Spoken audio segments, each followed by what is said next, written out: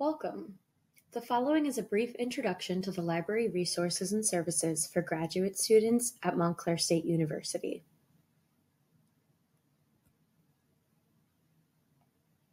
Sprague Library is located in one building on campus. We have lots of study space, Wi-Fi, collections, a cafe, services, and a variety of seating. Laptop lending, printing, scanning, reserves, and online or in-person reference services are all available, as well as bookable study rooms.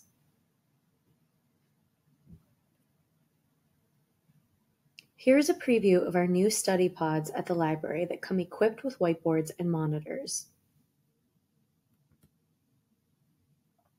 I'll highlight a few more pictures to give you an idea of some of our spaces and library staff faces. We are open to the public, so even the broader community can come in for a visit. For example, your family members are welcome to use the library spaces. You can even inquire about borrowing privileges for MSU family members. For off-campus access to online sources and search tools, you will need a NetID though. We're open almost daily throughout the year, excluding some holidays, with slightly shorter hours between semesters and during the summer. From September to May, we're generally open until 10 p.m. Monday through Thursday, closing a little earlier on Fridays and open again on both Saturdays and Sundays, 9 to 5 and 12 to 9, respectively. Check the library hours page for exact hours. Even when the library is closed, all of our online resources are available to you 24-7 with your NetID.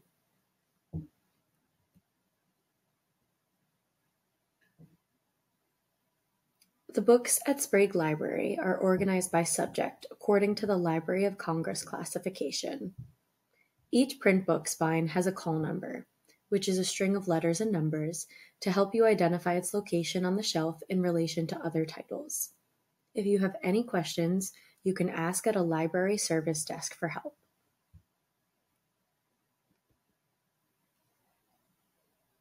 Call numbers are only for our print collection. Ebooks don't have a call number. You just access those online through our website. But if you're interested in browsing the physical books in the building, knowing what subjects the initial call number stands for can be quite useful. If you want to learn more about call numbers and classification, Use the Ask a Librarian service on our website. More on that soon. Save time by putting a hold on items ahead of time using your library account.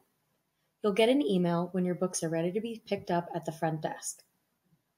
This is a must for busy graduate students, especially if you're not on campus every day. Graduate students are welcome to check out for the entire semester, for undergraduate students, you get a 28 day loan. Graduate students can borrow 100 books at a time, and undergraduates can borrow 25 books at a time. Your library card is your MSU student ID card. To emphasize this point, I put it on another slide. Nearly all of our services and resources are completely free for you to use. All you need is your NetID for online access and your MSU ID card for in-person access. If it's been some time since you've done in-depth research or even if you simply find yourself stuck, get in touch with a librarian.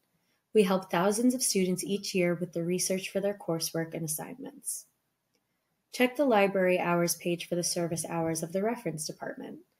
Those are the people who power the service. You can get assistance over chat, email, text, phone, in person when available, or make an online appointment, which is held over Zoom. When should you do this? Anytime you have an assignment or component to your course that requires doing research, a literature review, finding evidence, we can help with the research in any of those cases. Or if you just want an introduction or refresher to your research skills.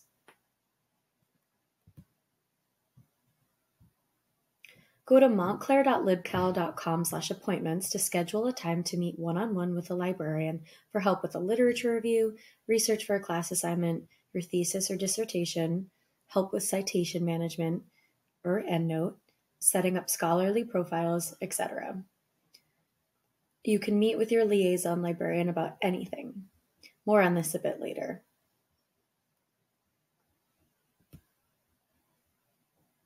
There are two search tabs on the library homepage.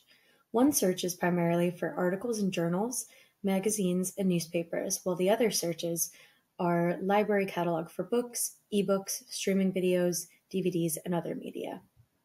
The article search is useful for a quick lookup, but you want to make use of other research tools as well, since this search does not search our entire collection. For example, you'll want to become familiar with the most important databases and journals in your field. Use a research guide or talk to a librarian to get more familiar with these resources. See the links to all of these below the main search box.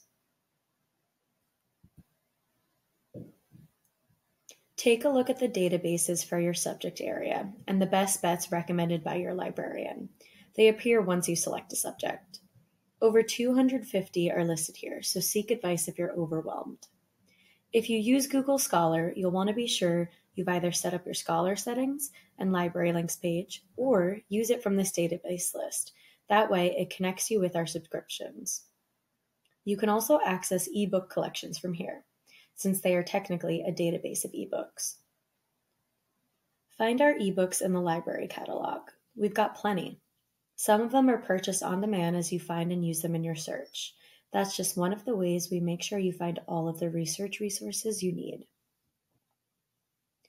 Click on the journal's A through Z button to search for the title of a journal, newspaper or magazine, or really any periodical publication.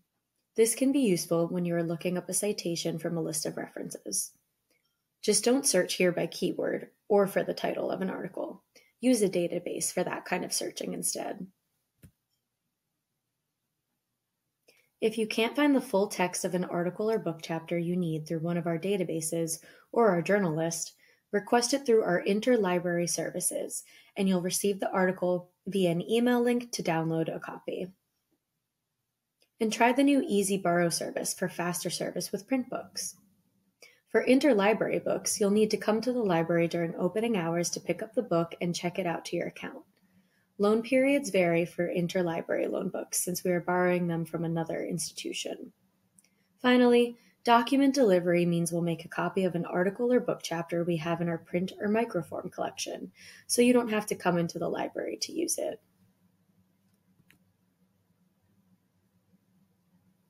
If you're new to doing research and using Sprague Library, get up to speed by taking a look at some of the short videos on our YouTube channel at bit.ly.com slash spragueyoutube. Most videos are less than two minutes long. Our YouTube channel is also linked from the library homepage.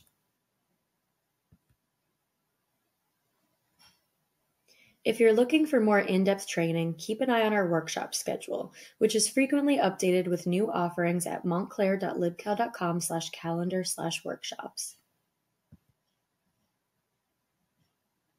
We currently have over 200 published research guides available for you to use at montclair.libguides.com. What's a research guide? The most common type is an online subject guide with librarian selected resources in a subject area. Guides also often have how-to videos and search tips. Find research guides by clicking on the Research Guides button from the library homepage.